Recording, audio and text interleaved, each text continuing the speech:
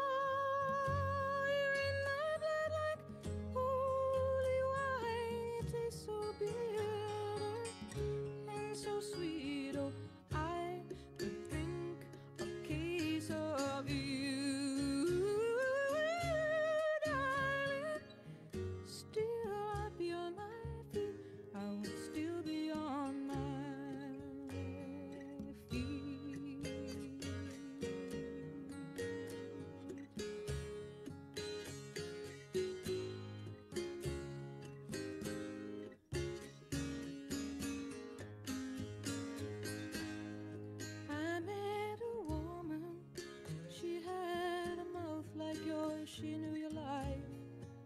She knew your devils and your deeds. And she said, Go to him. Stay with him if you can. But be prepared to bleed.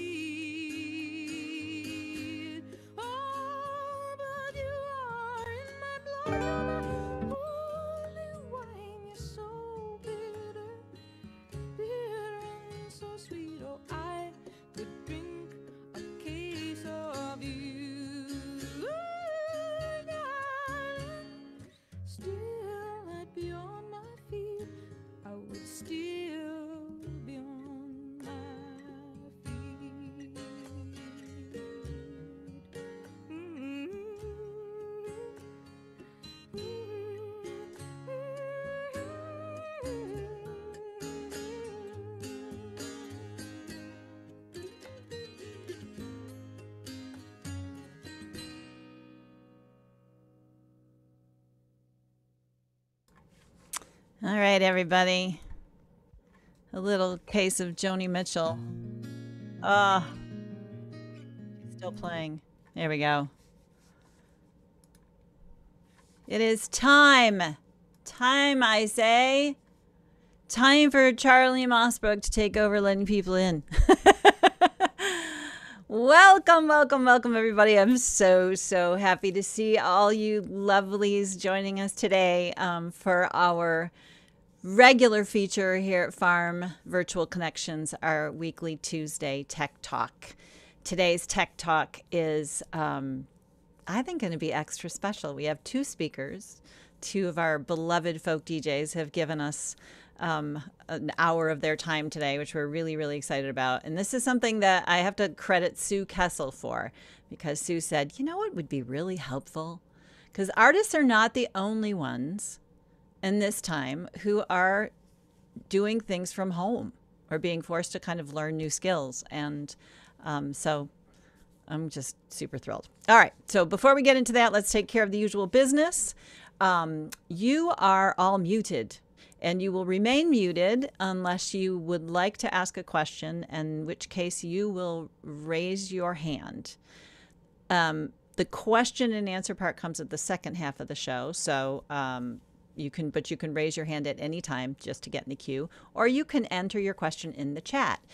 Uh, the chat is only to me, the hosts, or to one of our speakers. I prefer if you send them directly to me so we're not distracting the speakers while they're um, giving their presentation. And uh, we'll get to your questions in the order they are received. Um, what else can I tell you? Nothing. We're live streaming out on Facebook today as well as YouTube. I've finally connected Farm's YouTube channel out there. So if you're watching us on YouTube, uh, welcome. But this is something we should have been doing all along. I don't know why we don't. Um, and yeah, Charlie, I don't know if I'm forgetting something. I'm a little foggy today, but I am so excited to introduce to you our two speakers today. Rich Warren and Ron Olesko are both DJs that if you are in the folk music world, you know these names and you know who they are and you've you've been listening to their radio shows and their uh, wonderful programming and both of them are uh, have done some really innovative stuff and been involved in a lot of things in addition to live programming. Um, and Rich, even though he is now in his retirement and enjoying life out, off of the microphone, has agreed to spend some time with us today to talk about his process. And Ron has been carrying on um, in this virtual world for us. And so, without further ado, I'm going to introduce first Rich. And then uh, after he's done, Ron will speak, and then we'll open up to questions. So, are you ready, my friend? Hi, Rich Warren. You got to unmute yourself. Oh, look who just got here.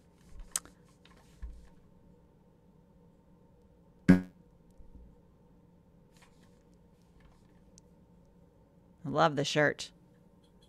How's that sound? That's perfect. Excellent. Thank you. well, thank you. I'm not totally retired. I still host WFMT's Folk Stage, which is our live concert series, but I no longer have to produce it in my home studio. But what I'm here today to talk about is a home studio. Now, first of all, I went into radio because I've never been good in front of a camera. So you'll have to forgive uh, my camera presence today because I'm much more comfortable not looking into a lens. With that said, I'm also a bit of a dinosaur. I recorded the Midnight Special in this room from which I'm coming to you for 18 years. And it was long before COVID that I began recording in a home studio.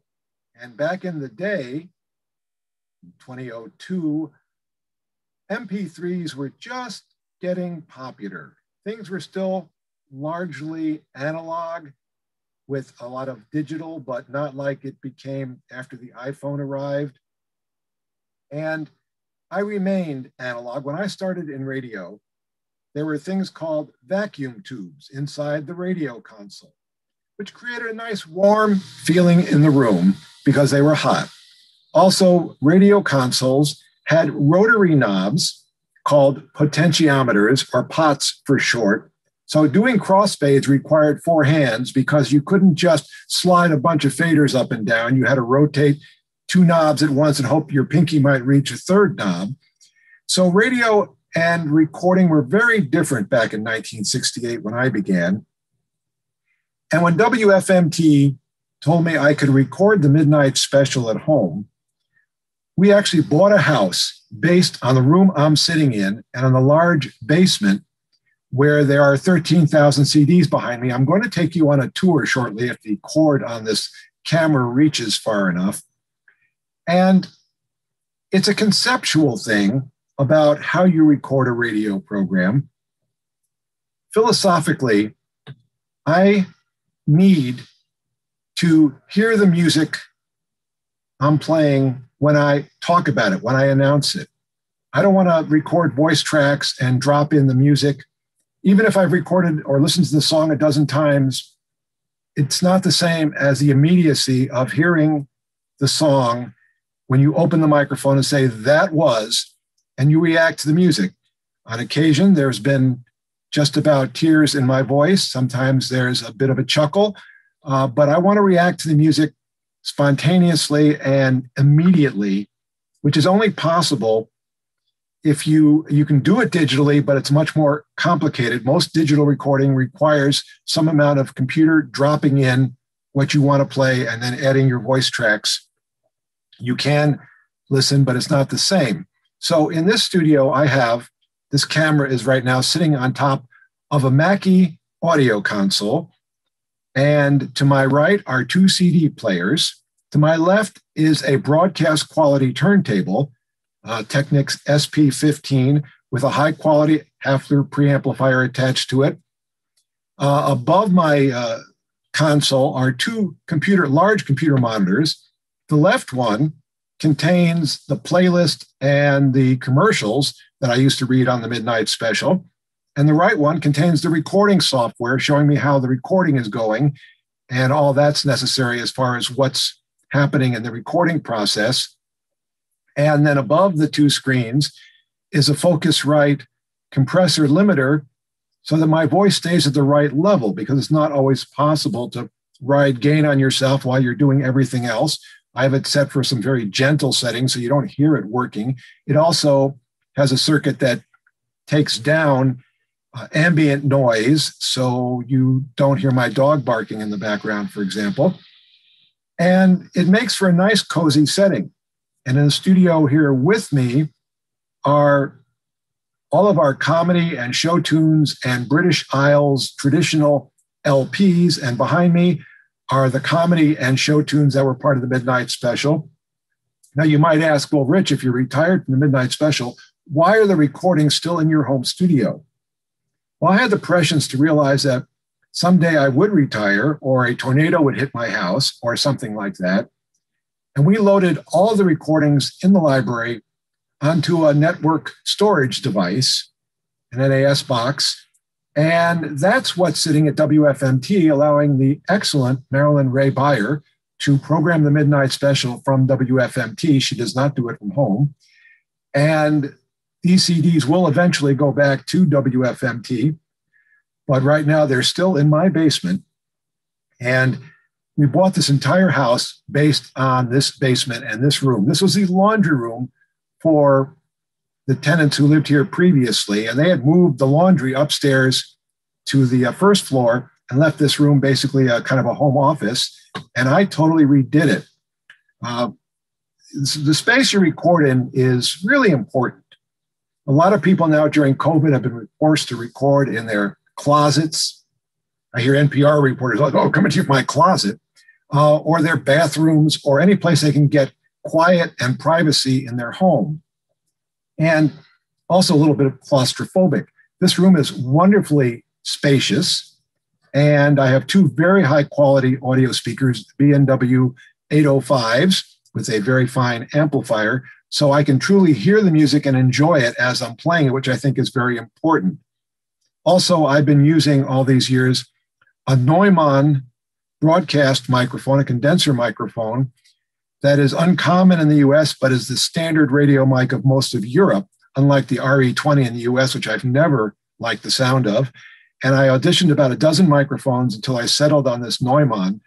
And I've been very happy with it. The only weakness is it has um, a click. If you if you hit a K sound too hard, it will register a sibilant. It doesn't register sibilants from S sounds or P sounds or B sounds, but a K sound will occasionally cause a sibilant in this microphone, but otherwise, it's an incredibly transparent microphone with no proximity effect. So it doesn't really matter how close or far I am from the microphone. So in this room, of course, would be too live. I didn't want it to sound like a bathroom or Grand Central Station or whatever. So on all the walls surrounding the recording area, I have hung beautiful handmade quilts. And behind the quilts is fiberglass batting. So it makes the uh, room much deader sounding and not reverberant, just enough to make it sound live, but not too live, because I think the sound of the room is very important to how you sound on the air or on a podcast. And I've heard one too many podcasts of late where the speakers are talking into their laptop and it sounds like they're 10 feet away. The sound is terrible. You owe your listeners, whether you're doing a radio broadcast or a podcast, to give them good sound. That is, is so a, a non uh, brainer. I mean, it's like, why wouldn't you want to give your listener the best possible sound? You don't need an expensive German microphone. You can get by with a good $100 microphone.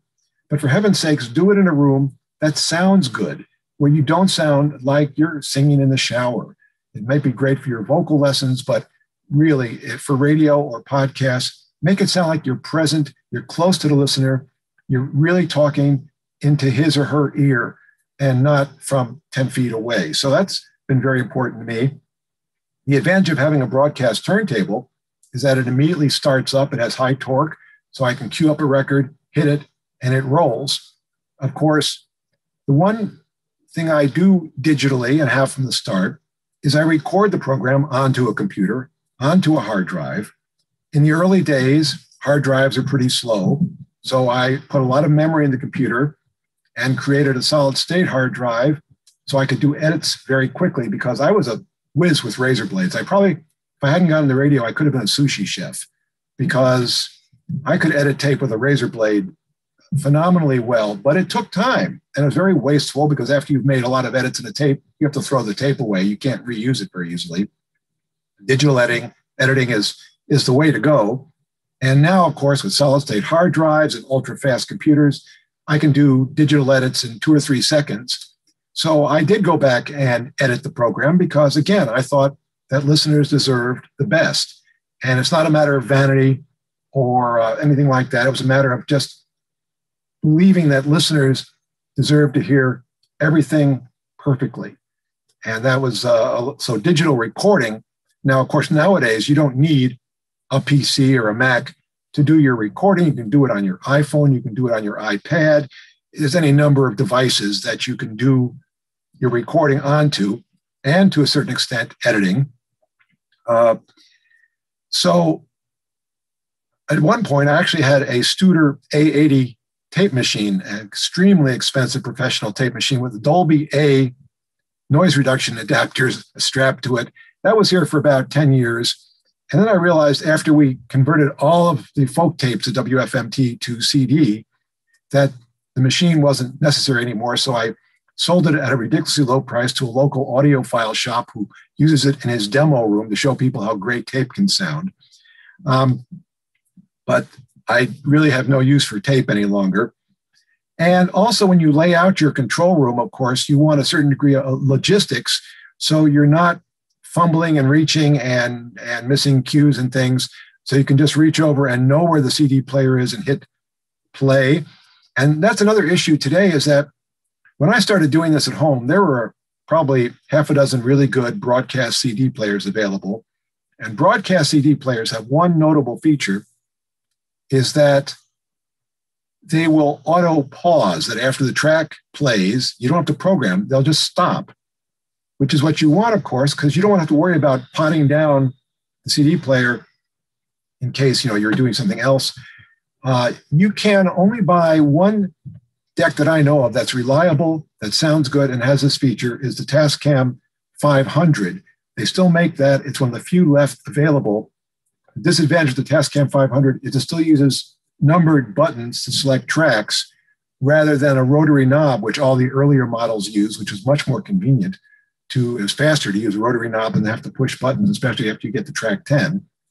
But uh, that is going away. So you can't even buy a broadcast quality CD player any longer.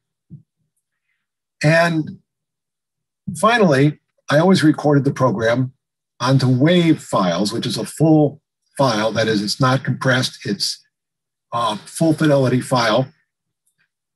Now, sending it to WFMT via the internet, when I started doing this, my internet connection was pretty slow. So we had to actually Federal Express discs to WFMT from the studio here. I burned discs of the program the FedEx guy would make a special pickup for me. In fact, he told me that if I wasn't done by time his pickup was scheduled, I could bring the discs to his home and he would take them to the depot for me, which was a great honor.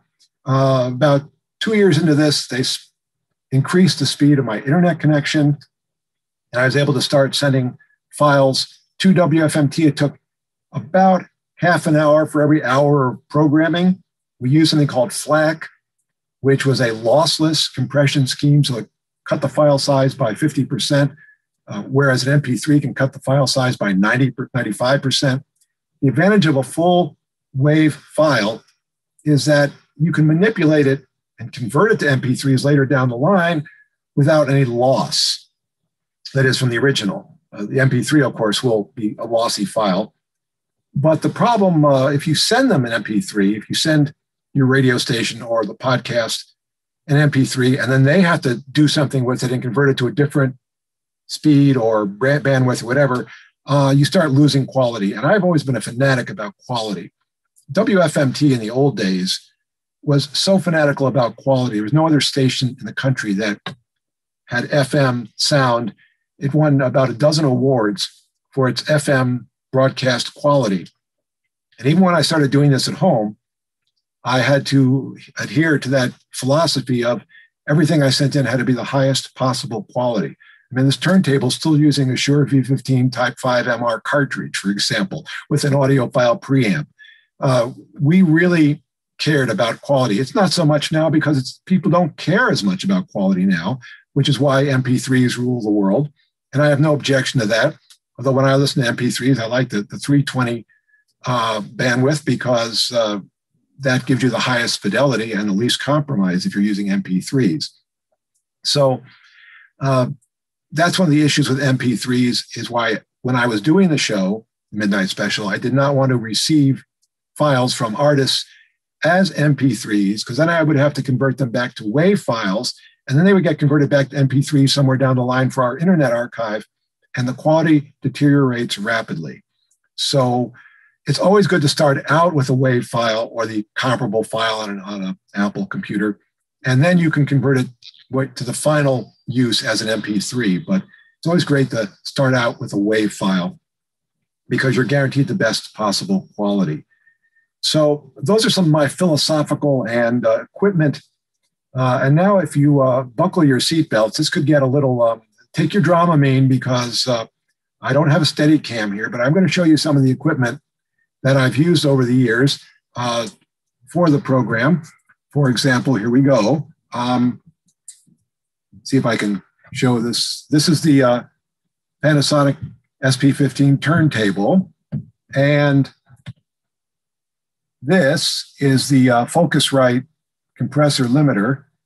Now, Logitech does everything backwards with this, so it's really hard to figure out where I'm going. And then the two computer screens, which you can sort of see here. Let me, yep, you're getting dizzy. I know it's, uh, there we go. Um, you can't quite see what's on them, but one has the uh, sound file and the other has the playlist. That's the playlist for my final midnight special. Here is the um, see if I can get this in the picture here. The microphone that I've been using all these years, the really hard to do this with a little tiny inset on the computer screen to watch. There we go. There's the Neumann microphone. And here are the two CD players I'm, i was currently using. The top one is a Tascam I was talking about, and the bottom one is a Marantz. That sounds great, is easy to use, but does not auto stop after you play a track. So that's kind of frustrating. And then finally, this particular audio console is no longer made, but Mackie still makes, sorry for getting dizzy here. I'll try to get this, uh, there we go. Mackie makes a similar console with a digital output now, which makes it even easier to put in your computer. You don't need a uh, fancy uh, uh A to D converter. But this Mackie console has served me well because it has uh, two, uh, four stereo high level inputs. And I don't know if you can hear me because I had the microphone turned to my back, but those high level inputs are for the CD players and the turntable. And then it has uh, several mic inputs, so I could have a guest in here if I wanted to. And of course, my mic. And uh, so it was a very versatile console. It has the minimal, it has some EQ positions, but other than that, it's it's a really simple console to operate, and I love it, and it's reliable. It hasn't ever gotten noisy or scratchy. It's it's just this thing will last forever. Basically, it's been in service now for, I think I upgraded to a newer Mackie console back in um, 2005, and this it's been about 15 years. This console has served me without a single problem. And of course, I have to manually mute the microphone, or the rather the uh, yeah, the microphone, or pardon me, the speakers when I am on the air, because unlike a broadcast console, this does not automatically mute. That's the one thing you have to remember is to mute your speakers when you turn on the mic, or you will get feedback. Um, just a little more of the tour here. Um, these are some of the recordings that are in my little studio. You can see that I've got a lot of great company here. And if I can look outside the door, um, you can vaguely see in the background lots of other CDs, uh, but there's a room full of about 13,000 CDs in here. And uh, so, sorry for the, uh, I, I, should have hired a video company to professionally produce a tour and, and not gotten you a seasick on this. But anyway, that's, that's my philosophy at home recording, but it's very cheap to set up basically. I mean, you can get, if you can still find a CD player, you can find cheap CD players. You can these audio consoles are like 300 400 dollars. Um, I highly recommend them. You can do the same thing on an iPad, by the way. I mean, if you want to go digital, Ron will tell you all about that. But you can do the same thing on an iPad. Uh, I went first class, basically. Everything here except the console is from a radio station. And but if you want to do recordings at home, you can do it. Just remember to, to put something on the walls to deaden the sound a bit to try to use some decent monitor speakers so you can really hear what's going on the air on your podcast. And really don't economize on the microphone because that's what makes you sound like you sound. And why would you want a mic that makes you sound terrible? So choose a good microphone. Uh, there's so many companies that make great microphones these days. Uh, certainly, I think Shure makes some great mics. Uh, and all of WFMT's mics are ancient Shure microphones because they still sound good, SM81s with a big foam over them. Uh, they were never meant for broadcast announce mics, but you can also find uh, Audio Technica mics and you know AKG and various other companies make fine mics, uh, and you know try to choose the optimal recording distance between you and the mic. Whether you need one of those you know big round screen pop filters or a foam filter or whatever, but it's really easy to do. Oh, and one other thing if you're recording from home and you're using analog. Now, if you're recording to an iPad or an iPhone, it's not, or a laptop, it's not as critical because they run on batteries. But everything in this room has an uninterruptible power supply attached to it. So if the power flickers or even goes out for five minutes, the recording keeps going. You don't lose anything. This is really critical. You don't want to be in the middle of doing something really critical with your show and the power flickers and everything dies and you have to start over. The file doesn't get saved right or whatever. So I recommend spending some money on an uninterruptible power supply if you're using anything that's not battery powered. You know, if you're not using a laptop, uh, but a desktop PC and uh, an audio console, then run it off a UPS that'll at least cover you for five minutes because most glitches in the power company are, are shorter than that. So uh, that's something else to consider is always make sure you have a backup power.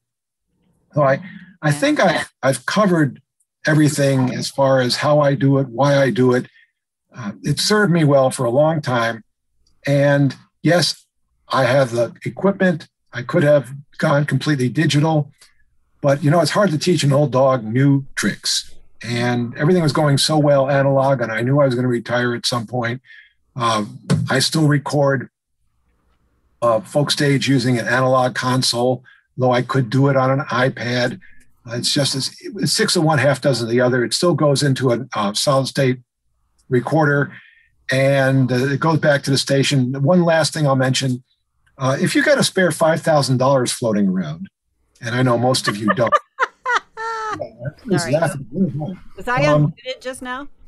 yes, you did. and that was, a, that was not an accident, Annie. Uh, there's a box called a tie line. And what it can do is it can take any reasonably good quality internet connection and send it back to your radio station or wherever you want it to go as a full fidelity file, as a full fidelity sound, so that you can do live broadcasts. When I do the WFMT pledge nights, which I'm still doing, I do it from this room with the tie line. The WFMT loans, loans me the tie line. I'm not wealthy enough to buy one myself, but uh, and uh, it sounds like I'm right at the radio station talking to Marilyn and, and George Preston in person because you can do that now with digital. And I'm sure the price of these things is going to come down, but it's an amazing box. And we do all our remotes now on the internet. And there, yes, are occasional hiccups because the internet was never made for live audio, high fidelity audio, but it's been working out for us. And I just want to mention that's a possibility. So whenever WFMT asks for something live from here, they simply UPS me the, the tie line I connect it to the same internet connection I'm using now. Of course, I recently, a year ago, received fiber internet, which is the most wonderful thing in the world. And so I get great results. But that's just one other thing to keep in mind. You probably could rent one if you needed it. So if somebody asks you to do a live broadcast at really great fidelity, full fidelity sound, it's it's an option nowadays. There are cheaper things you can use to accomplish that. They may not be quite as good. So I think I've covered everything, Annie, and um, I am so honored.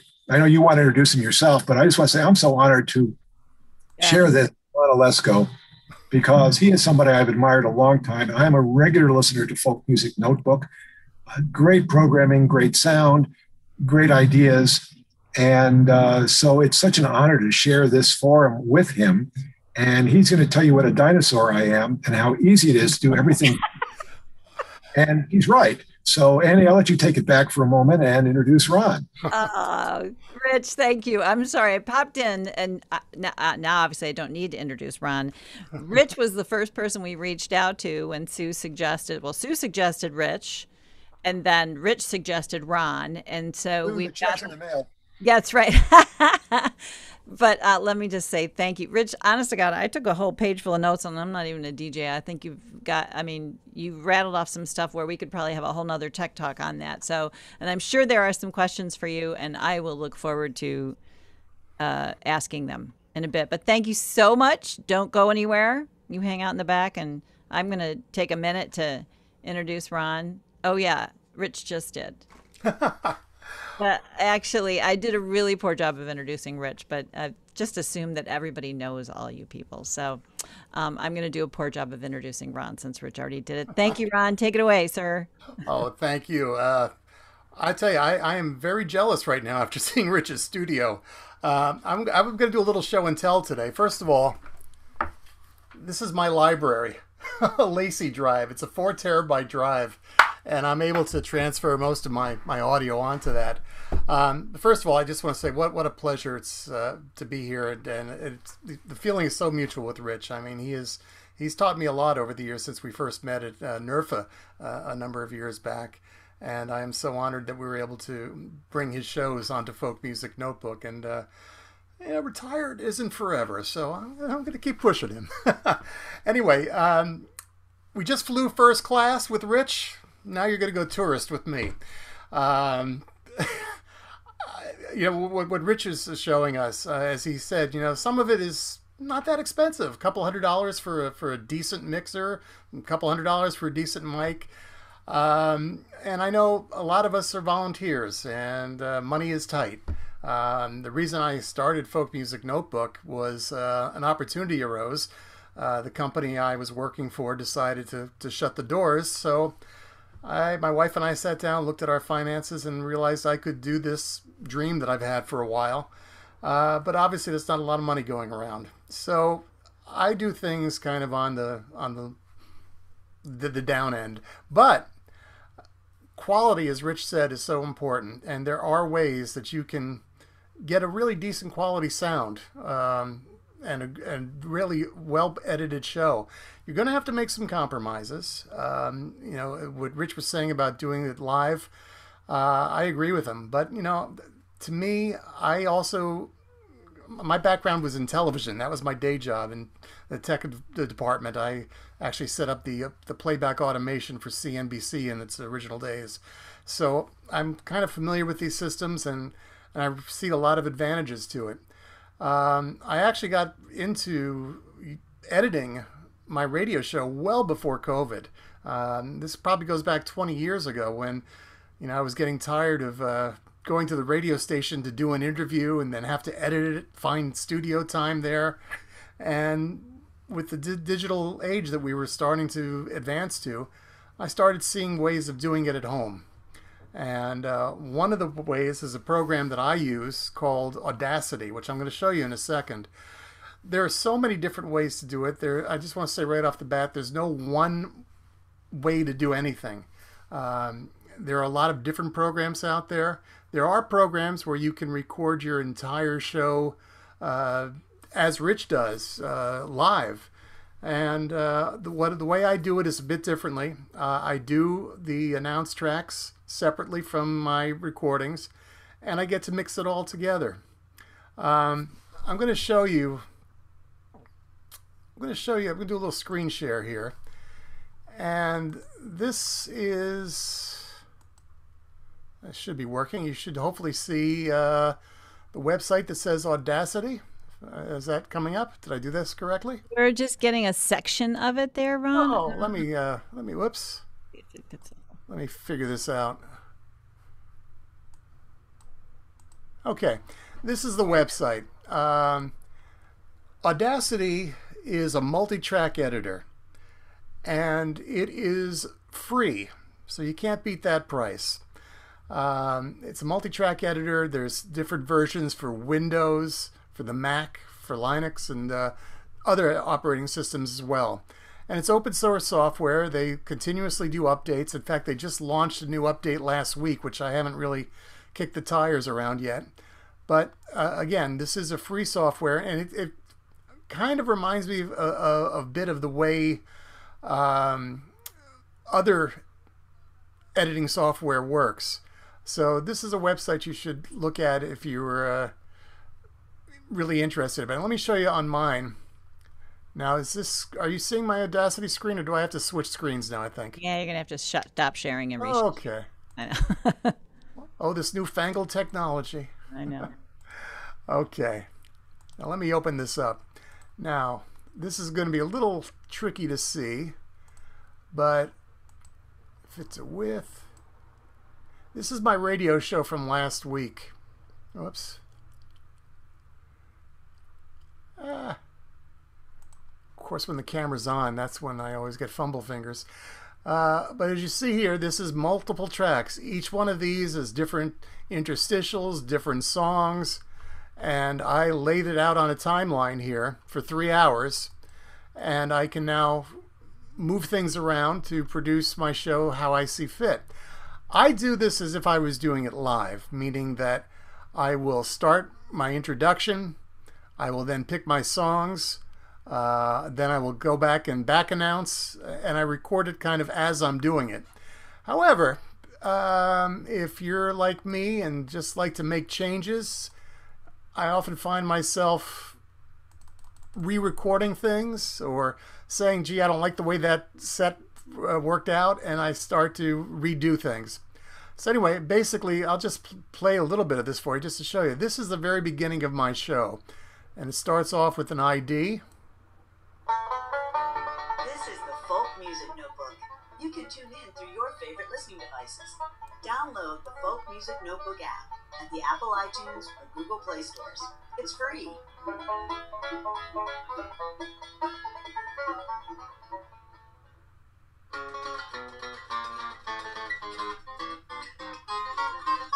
Good afternoon, everybody. I'm Ron Olesko. This is tradition. Okay, I don't have to play the whole show for you, but I just wanted to show you because you, you, can see each of these are different files. Now, if you look at the very top, it says FM app ID 4. I basically just drag that from my hard drive onto the timeline. Over here, this is the Traditions theme song. And I also did the same thing. And over here, this part is trad 1. That's how I did my announce. And what this system allows me to do is I can change fades. Uh, I can manipulate the audio file so that it's going to sound the way I want it to sound over the air.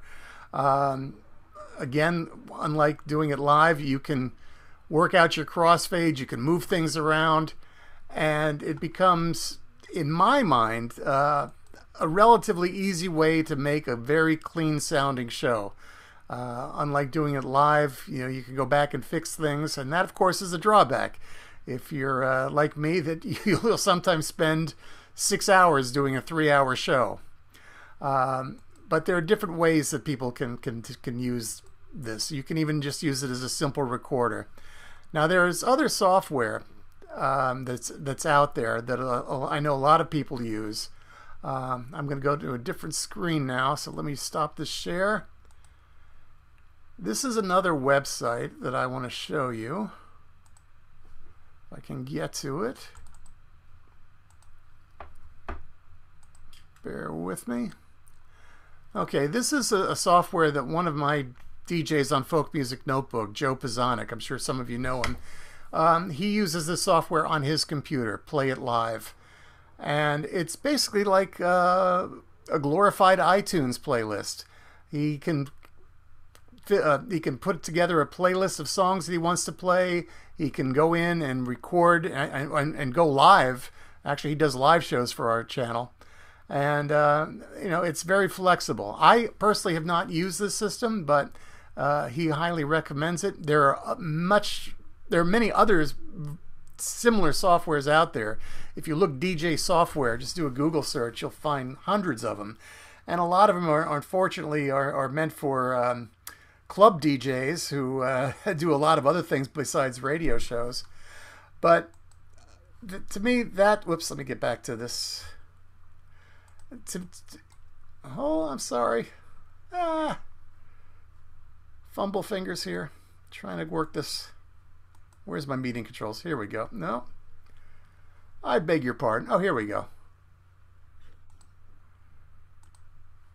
I've lost my share. I'm trying to figure out how to. Yeah. Oh, here we go. There we go. Okay, good. Sorry, folks. I was uh, to rescue you, but you're doing fine. see, this is why I like to record. When you do things live, yeah. you end up with these mistakes. Uh, but anyway, um, it's it's freeware. So to me, that is something that was of a definite plus. Um, there are mixers that are not just physical mixers, but you can also get um, software that replicates the mixer. Um, microphones. Um, I use the Blue Snowball mic. This cost me 60 bucks. I mean, it's not, I admit it, it's not as anywhere near as good as, uh, you know, the Sennheiser mics and the, the Neumann mics that Rich uses. But for me, I think it produces a good sound on the budget that I have. Uh, one thing that I do do that Rich was talking about normally I would have it set up. I bought myself a little um, uh, screen here. The microphone goes where my hand is. I put a windscreen over it, and that cuts out a lot of the background noise, and it, it, it gives it a much much clearer sound than what you're hearing now. I've kind of had it set up for a Zoom meeting, um, but it's something that I, I've been able to do. I've been able to create files uh, for my radio show, which airs on WFDU as well as Folk Music Notebook. Um, I basically send them a file each week via uh, either Hightail or Dropbox, and um, they'll air it from their automation software that they use. Um, frankly, FDU has been shut down since the pandemic, uh, so many of our hosts have been working from home doing exactly what I'm doing with different versions of, of software. Uh, one of the nice things about Audacity is that it's got a lot of bells and whistles that you may or may not need.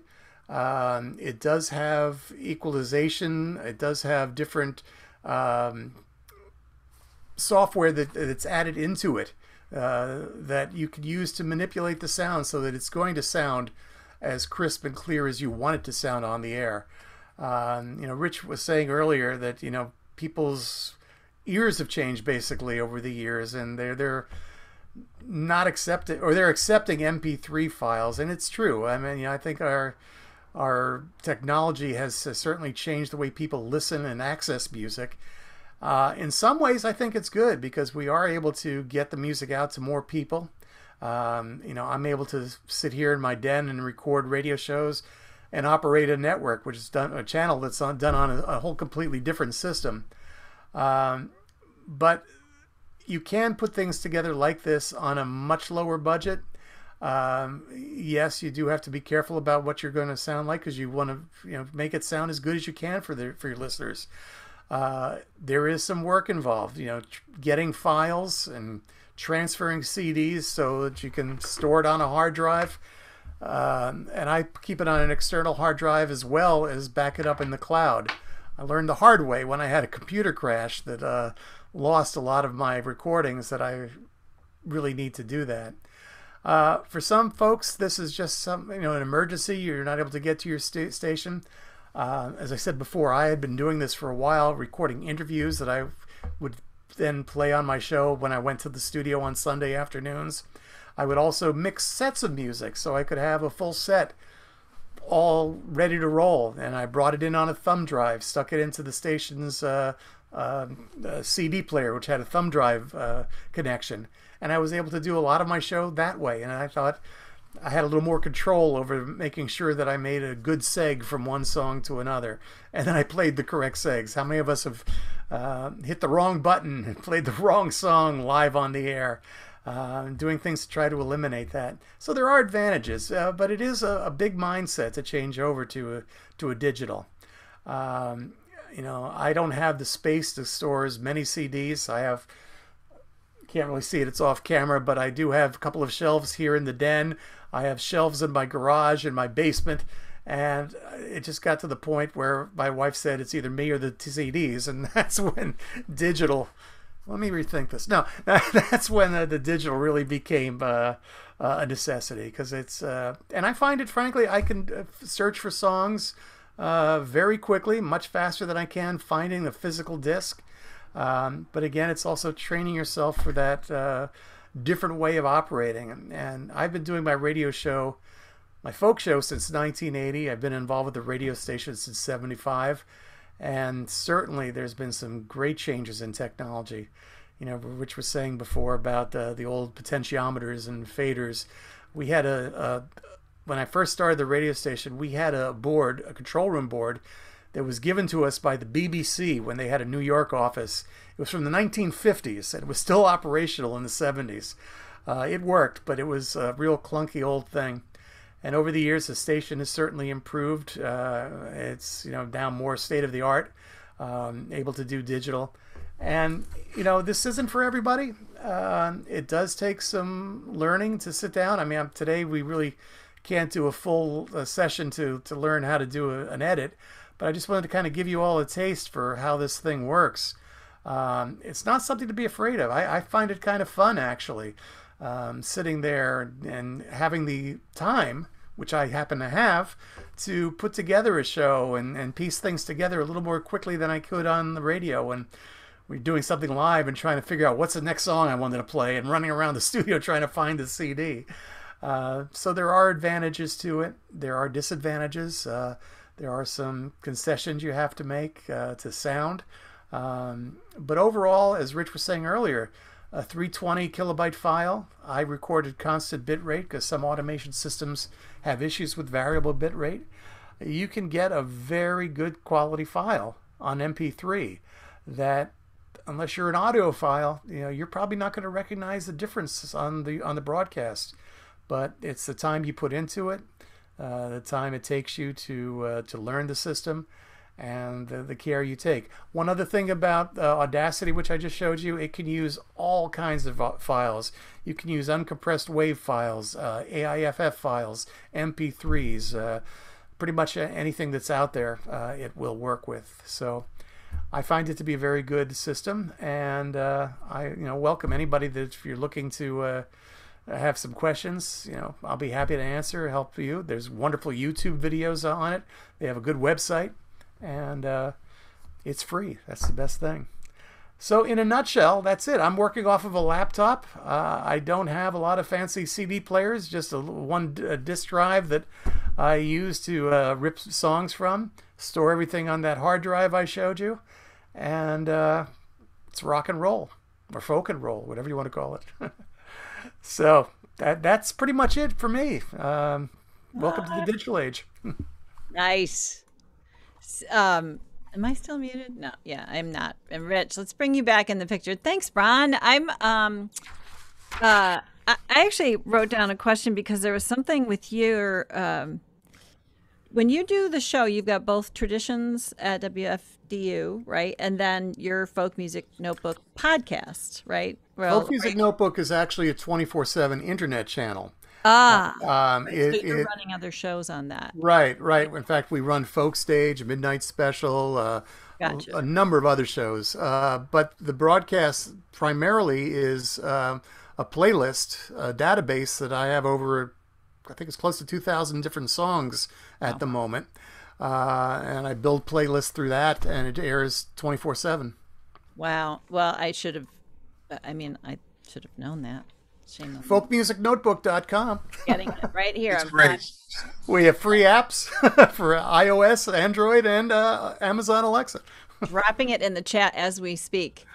All right, now, um, ladies and gentlemen, I realized that in, my nervousness about these two speakers kept me from telling you something very important, which was in the beginning, if you are unfamiliar with the raise hand feature in Zoom, this is how, when I said raise your hand, I didn't mean physically because I can't see you. So what I need you to do is look down in if you've updated Zoom recently, which I hope you have, you'll find it in the reactions tab at the bottom of your screen. There's a big old bar under there that says raise hand. So if you'd like to have a, if you have a question for either of these gentlemen or a comment, please feel free to put that in there. Um, we've got a couple of questions from the gallery already, so um, you don't need. Hey, can I just uh, say a couple of things about Ron's uh, presentation? Of course. Well, first of all, I have to concur 100% about Audacity. It's the best value that that you can ever find. However, if you want to go into the next level, WFMT's uh, software is Adobe Audition, which is ridiculously expensive and not worth it. But uh, because they used to be able to buy the program, now you have to subscribe to it like everything else from Adobe. But it's incredibly powerful. It can do anything. It's and I I don't use it that much. I prefer SoundForge, which is simpler Mhm. uh, but also at least you can buy it. And I use an ancient program called Software Audio Workshop, mainly because it's the closest digital program to using a razor blade. It allows you to basically razor blade files. Uh, you don't. It's a whole different mindset of editing. But I came from a razor blade, so that's what I use. By the way, if if you notice that I've been looking up, it's not because I'm asking for God's help. It's because the uh, monitor for the uh, Zoom session is above my limiter here, and I have to look up to see all of you. So it's not because I'm looking away from the camera. It's just I can't do both at the same time. So thanks, Annie. No problem. And I'm looking down on you guys right now. So just so you know, my camera's up here. um, all right, great. All right, listen. One, one one little thing that I just want to add, you know, Rich was saying about the razor blade. I, I found with uh, with Audacity, I can get in there and make cuts, you know, to the millisecond. So it, it works fairly well as well, uh, especially for the price. Yeah. Yeah, I agree. All right. So first question up is for Rich. Um, these came in while you were talking, Rich, and Paul's got his hand up. So, but Paul, you had several questions. So if I'm asking your question, in fact, let's just unmute you and you can ask them all. Do you want me to do it or no? Me. Okay. So, he, uh, what you mentioned a network storage. What is your network storage that you've got, Rich? It's a box full of hard drives, which has the basis of a, a very primitive computer inside of it that allows you to access audio files or it can be anything else. It's called network attached storage. And you can daisy chain these boxes if you want so that everything you own can be in one of these boxes. They start at about $500 and go up to about 2500 depending on how much storage and how much flexibility you want. But it allows you to um, plug it into your PC or it'll work with a, with a Mac and have much better access than simply uh, putting on a hard drive. It, it gives you much more ultimate storage capacity. And I think the, the uh, box that WFMT has that I loaded this library into is 12 terabytes. And it also has redundancy. So if one of the drives fails, there's a backup drive already within the box that backs up the, the uh, each drive. So there's actually you know like six drives or eight drives in this box. So not only does it have a huge capacity, but if any drive fails, it has a backup. And so if you're doing mission critical radio work, that's kind of nice to have. Uh, it's not as convenient as having, you know, the CDs at hand, but um, one thing I didn't mention, by the way, is I just love the fact to touch and feel and open a CD and see the beautiful artwork and incredible graphics design. There's some woman in Michigan does incredible graphics design uh, for these CDs, and uh, it, it, it's a it's a feeling that's a little different than doing everything digitally. But that's my hang up. Uh, that's the answer to the question about NAS, network attached storage, and there's two or three brands that specialize in it. Okay, cool. It sounds yeah, two terabytes, twelve terabytes. Wow. Um, and uh, Matthew, I think I, I, you asked your question again down here. What brand of NAS is that? What network attached storage is? Yeah, is that- you know, I I'm spacing out on it. Should be on the computer here, and I can't remember. Is Synology? What, Synology? Does that? Yeah, that's the that's the one. Yep. Okay. There's two or three brands, but that's so I think that's the one we're using. Okay, great. That is your. Um, okay, and Paul, did you want to go ahead and you had another question. I'm going to let you yeah. ask. Yeah. Uh, basically, uh, Rich just answered the question. This may be above and beyond what anybody can do. It just happens that when we built the addition on the house, this is what my office is in now. And just should it ever happen, I asked somebody at Q Studios here in Falls Church. The room here, it's double, uh, double uh, drywall plus it's an internal room, but it's double drywall and fiberglass. So even though it's in, and this room is, uh, it just keeps the sound really down here. Just want to yeah, throw that out because that's I had I had to learn that before we built this room. So we'll leave it at that. Yeah, this room also is double drywall. And in fact, all of the computers, and I, there's a lot of computers involved in my show when I was doing it, they're all up in the second floor office, and I had special data wiring installed and audio wiring. The walls in my house have this huge conduit that goes up to the second floor office where all the equipment is. So it's dead silent down here. You don't hear any computers because they're all upstairs. So yeah, and it's all double drywall and it's all concrete behind the drywall, except for the furnace is. You can't hear the furnace because of all the double drywall. So uh, it works out quite well double drywall. I don't know what that is. Wanda, um, I'm going to call on you next. So I'm adding you into the spotlight. Did you get uh, your uh, request to unmute? You can. Okay. Um, Ron, you are plugging your microphone and your LaCie, um, your LaCie uh, um, library directly into your laptop? Yes. Um, so they're USB connected. They are USB, right? And um, so when you have the LaCie um, library in there, do you have more than one monitor so that you can see the song coming up and then um, download it into the Audacity? Well, no, because I'm I'm pulling from the hard drive into my Audacity program. I'm not really playing as a as a playlist uh, not with the soft, not the way I put my show together. Uh, so it's not like I'm doing a live. You know, I'm not sitting there while the song is playing. I, will just dra- drag and drop the song into the playlist. I'll drag and drop the next song.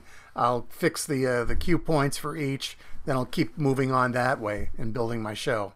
But you don't actually see the song um, in the in the. Uh, it, you don't have a second monitor where you see the song come up and then you drag and drop, or did it come down on the same monitor? It, well, it's in the same monitor. I'll, I'll like, for instance, I'll sometimes use my iTunes um, as a way of looking at my library.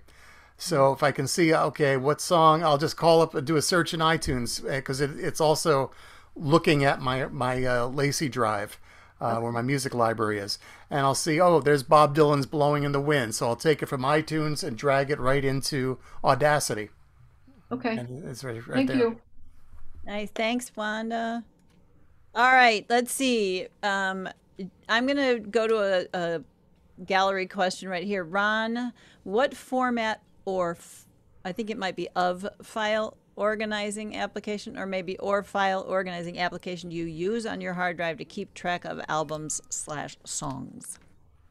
Um, right now, primarily iTunes. I know it's not the best program out there, but uh, for a number of reasons, I, I've been able to, to use that to to categorize all, all of my songs. I can search by a, by a number of different fields. So that's kind of my my database, so to speak. Uh, I have looked at a few others, but I haven't pulled the trigger and, and, and went for anything other than that. And again, iTunes, the price was right too. Yeah, right. iTunes. I'm work- cheap. I'm cheap. Well, let's let's. I'll admit it. Hey, I love it. I like that's you know it's great. Hi Ray. How you doing? Question, sir. I actually have a comment, if that's okay. Sure. Um, I use a, a free software program called a Virtual DJ. It's it's and it's mostly mostly for like club and weddings. So I only use uh, a few of the um, features, which basically are I can put my playlist up there. I can cue my songs and of course the microphone and I, I do it uh, in real time. Of course I do edit it to take out stupid comments and uh, things that I might say. Um, I have an interview every week and I uh, the radio station has a StreamYard account so I can record it.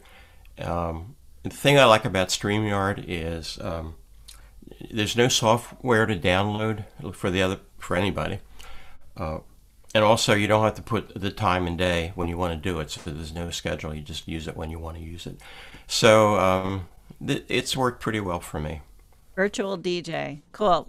Well, um, Ray, if you think of it, drop that link in the chat for me, and I'll share it with everybody. Yeah. Okay, I Ray, you just, you just reminded me of something else. Um, there's and, and Rich, you said something earlier about ISDN lines. There's a website called ipdtl.com. It's sort of like Zoom on steroids. It's an ISDN replacement um, group. Uh, and basically, it works kind of like Zoom. You know, you basically can use phone calls or ISDN audio calls. Uh, a couple of our shows are actually using it. It's it is like a fourteen dollar a month service, uh, but the quality is exceptional. Um, I know Folk Scene, uh, the Alan Larman show that he took over from his parents Roz and Howard. Um, he uses it, and it's just brilliant audio. Um, you know, Well, it same must thing. that- simulate ISDN because the phone companies aren't supporting ISDN Right. any longer. Right, Yeah. exactly. They they have software that you know both parties have to download, but it just sounds incredible, uh, incredibly clear. He's even done music with it, which I was very fascinated with. Wow. Um, okay, uh, Matthew, I see your follow up for Ron, but we're gonna um, we're gonna take uh, Ron Lewis's question first, and then hi, Ron, how are you? Hi. Um, quick question for either one or both of you guys. Um, I've been recording our WNUR shows at home using Adobe Audition, but you know, it's like Audacity, same kind of thing. I'm trying to figure out what the ideal volume level should be in terms of like minus 3 dB, minus 6 dB to not be too hot, but not be too soft. And you try to have your audio, tr- your voice tracking run the, at the same level as the music and how you kind of manipulate that to get it to sound right? Well, what I've do, I, I've kind of used a rule of thumb about minus 10 dB. Uh, and again, if I can just do another quick screen share, I'll go back to Audacity for a second. Um, yeah, like I don't know if you can see this, but basically I can control the levels in a number of different ways. I can drop it a few dBs, uh, however I I wish, by by doing this little slide fader here. I can also pull down the entire file and bring it down if I want to mix something in under it. So, but I, I usually use rule of thumb minus 10. Okay. I, I generally use mine as six, but uh, as as uh, Ron said, uh, I uh, I go back after I record the show and digitally smooth things out a bit if things are not the right levels. My voice is too loud in a place, or the music is too loud. Some artists record their CDs at as high a level as they can get onto the CD, Hmm. and other artists don't. And even though I adjust it manually because this is this is analog, uh, I don't always get it right. So I go back and, and make a little digital tweaks because in the digital domain, it, you don't hear that. It's not unnatural. It doesn't add distortion. That's audible. So uh, that's the beauty of using Audacity or any Audition or any of those programs is you can adjust your levels after the fact if you're not doing it live. Thanks. Is it great? Thanks, Ron.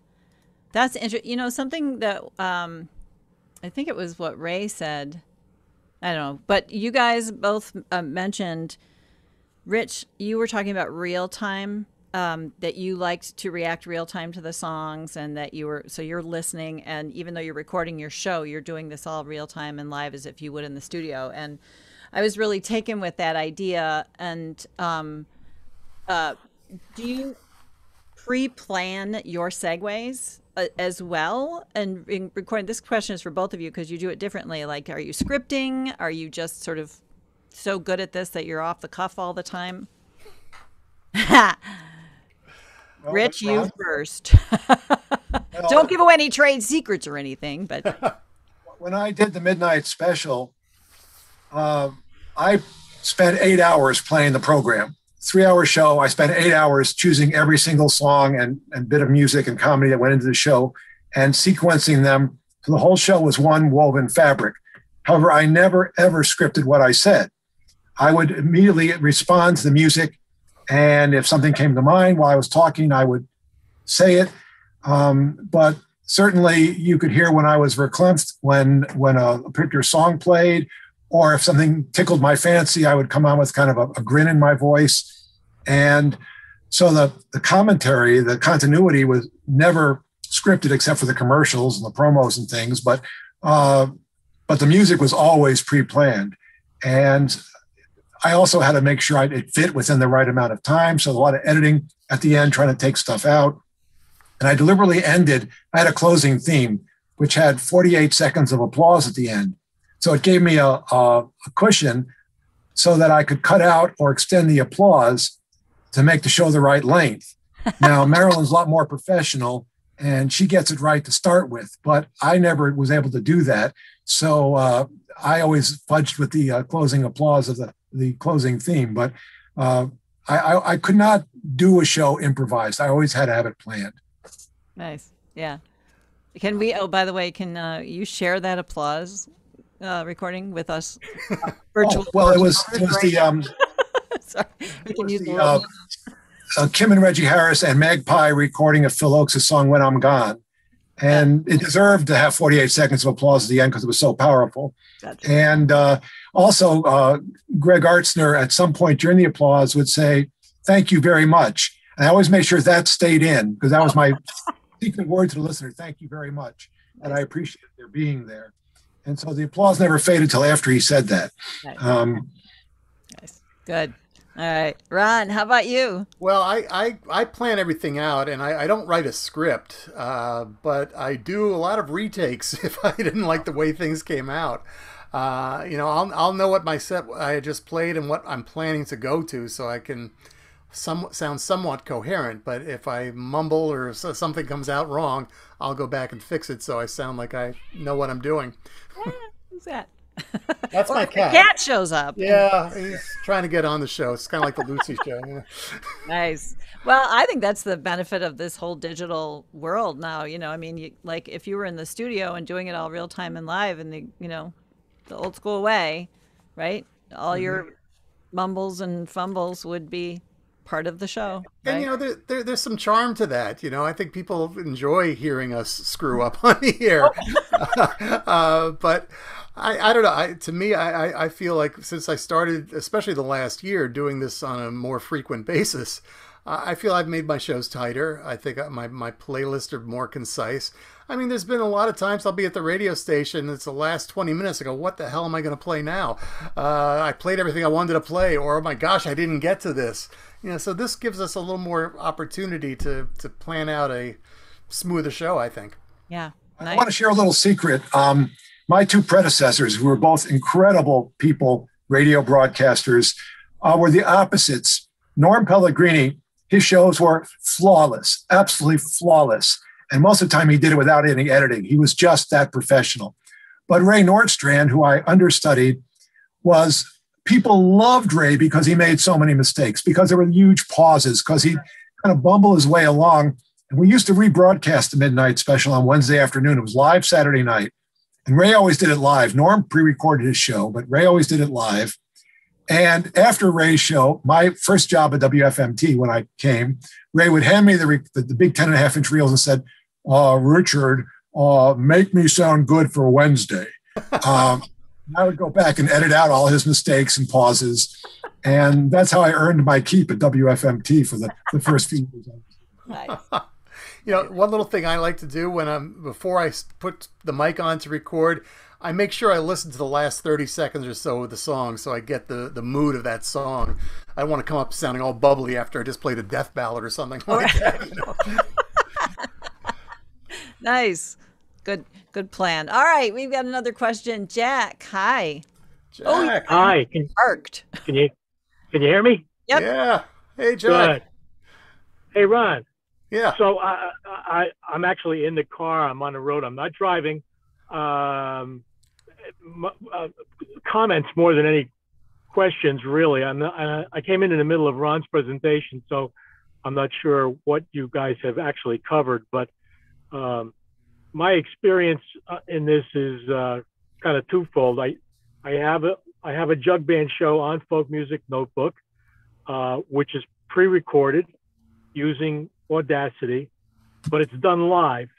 The only the only thing I plan is is with my other show too. I have a script for the intro, and that's really all I use, uh, just to make sure I say everything I'm supposed to say before the actual show begins. I use um, a DJ software called RadioLogik Right. uh, which I was introduced to at WFDU. I have a, I have a show on WFDU as well, but it's a rock and roll show, um, and that interfaces with iTunes. So I have a kind of a vintage um, uh, MacBook Pro. My entire library, both rock and roll and uh, jug band music, is on that hard drive, which is backed up regularly. And that interfaces with this RadioLogik. So i can i can design a playlist in in uh, itunes and import it into RadioLogik. And when i when i put together a show before i before i actually do the show i put together a show that's got way more material than i'll need.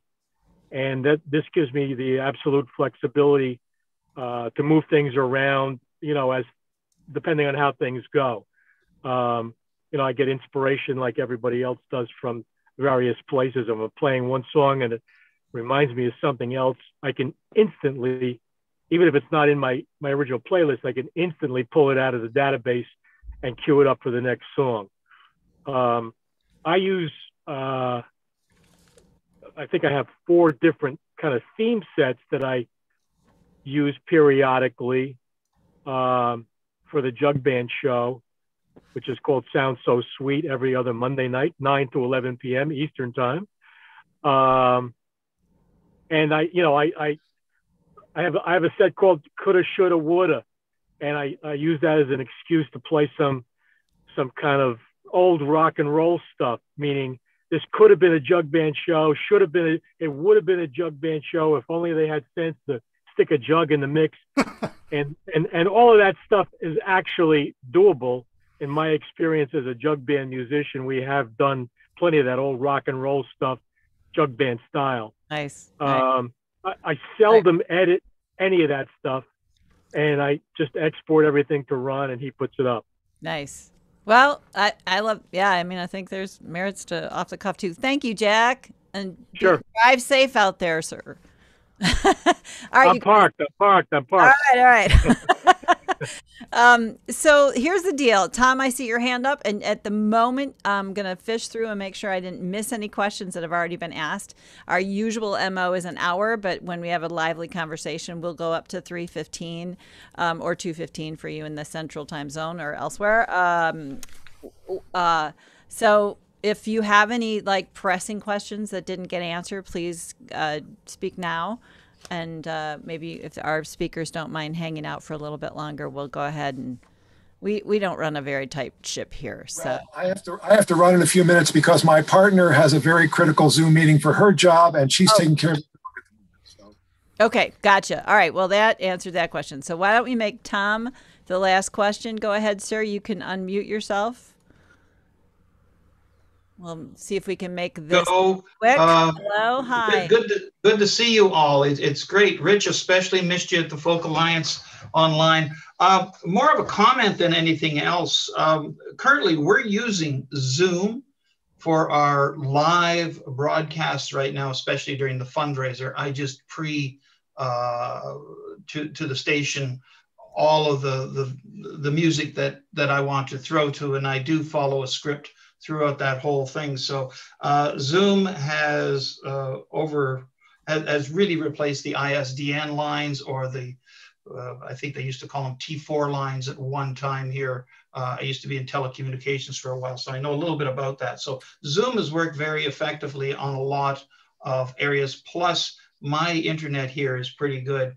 Um, guys, I, I was really looking for some insight how to shorten how much time I spend. So I spend about six hours for a total production of a two hour program. Mm-hmm. Now, the station, uh, I'm contracted to do it, of course, but the station um, tells me I have to do various things to upload, download, format, and a lot of the stuff, not only in pre-production with scripts, is done in post-production. So I, I say I edit out the stupidity a lot of the times. You know, instead of saying 1974, I might say 1964 and the folk music listeners will catch that. And I found that out on a regular basis. Um, I've tried to go wholly digital, uh, Ron, uploading, downloading, and things like that. Uh, but now more and more, I've simply gone back to uh, as live an event as possible because, like Rich was saying there, um, I want to interact with the music. And if I hear a mandolin break in the middle, then then I want to throw to that or join it all together. And uh, I'm very very fortunate in that I'm a big collector of music. So I have a, a large vinyl library, very large vinyl library, and an exceedingly overbearing large uh, CD library as well. So I tend to go to that for for the tactile function of that and I still feel it's important to stay there. So, so I, I wanted to become um, more technically savvy through this, but I think I'm going to forever be a dinosaur when it comes to putting these programs together. And I'm still looking for a way to to uh, to make it easier. But uh, a lot of the comments here, including some software ideas, my I still have a very old Microsoft uh, software-based uh, Steinberg WaveLab which was about $300 about 10 years ago, and I still use that and definitely afraid to change to anything else, although I've downloaded Audacity. So that's all, just the comments. Good to see you all. Uh, thanks, Tom. Thank you. Thank you. Um, all right. So um, here we are at the end of our really awesome talk. There is a there were a couple of little questions. So um, what I'd like to do is give Rich a chance to graciously bow out if he needs to. There's a couple of questions that Ron could follow up with if he if you want to stick around for a quick sure. second after that. So we can all take a moment to thank Rich so much for your time today. Honestly, sir, always a wealth of information and so generous of you to share this with us. And I promise not to share that private little email you shared with us. I've lost it already. I'm just kidding. If people want to reach you, um, should they just, you know, scream out Rich's name loudly in the no?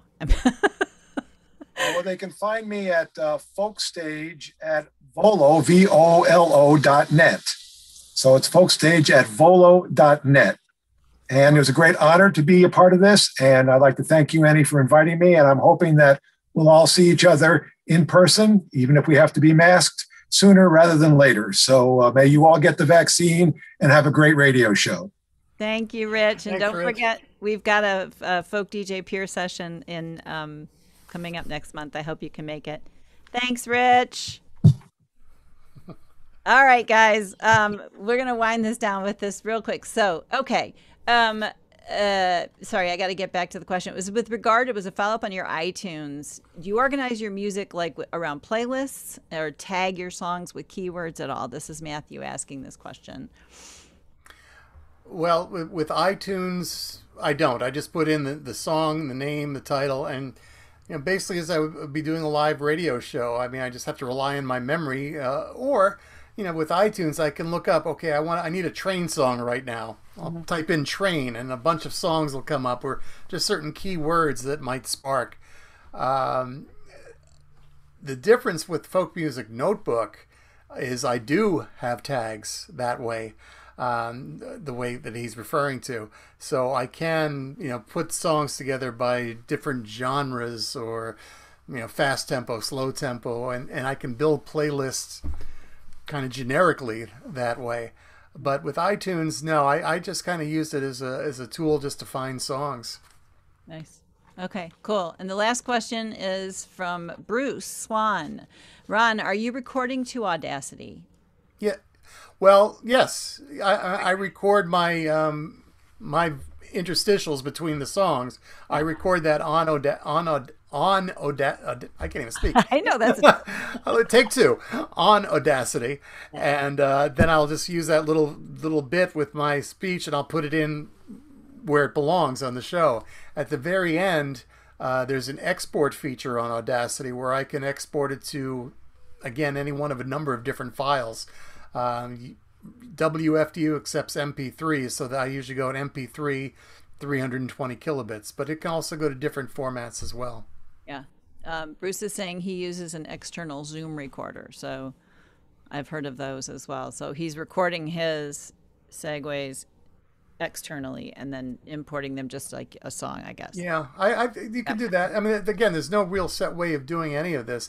I just what I basically do is I'll open up a second window in Audacity and I use that as my vocal recording. I'll record my piece. I'll save it as a file, like I'll call it Trad One or Trad Two, whatever this segment is, and then I'll just drag and drop it like I do a song. Nice. Wow. Okay, you guys, this has been a really awesome conversation. I guess we knew it was going to be, and I think most of our audience here are DJs or um, and, however, I do know a couple singer songwriters out there who are lurking and really curious about the behind the scenes of the DJ world, and and that brings me to our um, DJ peer sessions, which we're hosting, and these are not limited to Midwest DJs. These are, or nor are they limited to DJs. They're folk DJ and friends peer group session. excuse me. The next one is happening on April 14th. We're doing them every month. Um, and I will double check that. But if you go to farmvirtualconnections.org, you'll see the schedule over there. If you're new to Farm Virtual Connections, uh, we host Tuesday Tech Talks almost every week. And we are hoping, fingers crossed, that next week's Tech Talk will be on Bandcamp, which is, uh, I'd be very curious to know what the DJs. but we'll we'll leave it there. I think this could probably last a whole nother hour with all the uh, stuff that's out there. Um, but we also have a community peer group session at which, of course, you DJs are all welcome. Um, that's everybody from the uh, folk music community or community at large. Um, that is happening on Thursday. This is our bi weekly peer group session. So that's Thursday at 2 p.m. Everything is Eastern time. So keep that in mind. And we've got mentor sessions coming up in April. So lots happening here at Farm Virtual Connections. Um, and we are always grateful to our beautiful audience and people who drop in to see us. These are being broadcast on Facebook and YouTube, and you can go out and watch them again. We'll also have links on our website so that you can watch the broadcast. This was so full of info. Ron, Thank you so, so much. We're going to go into gallery view right now so that everybody can wiggle their hands at you and say how. oh, thank you. this was a lot of fun. I really this enjoyed it. I hope I gave some information. And anybody wants to reach me, my, my email address is ron at folkmusicnotebook.com. And. I'll be happy to answer any other questions or give some extra guidance. I'm going to put that in here, Ron at Folk Music Notebook. I've also put the other links in here. Um, I can tell you if you want to save the chat, there's three little dots in the lower right corner of the chat window next to you know where you address it, and it, you should be you should be able to save the chat, which will post some links, but I will also email them to you um, after the fact. So, thank you all so much, and uh, we'll see you again next time. Thank you. Have a great day. Thanks, Ron. Thank you. Bye bye.